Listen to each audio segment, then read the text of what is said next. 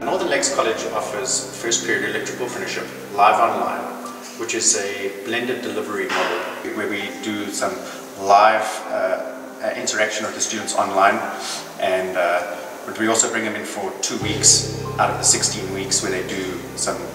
practical assignments and, and lab training where they get their hands on with uh, a lot of the components that they, they're learning inside the theory.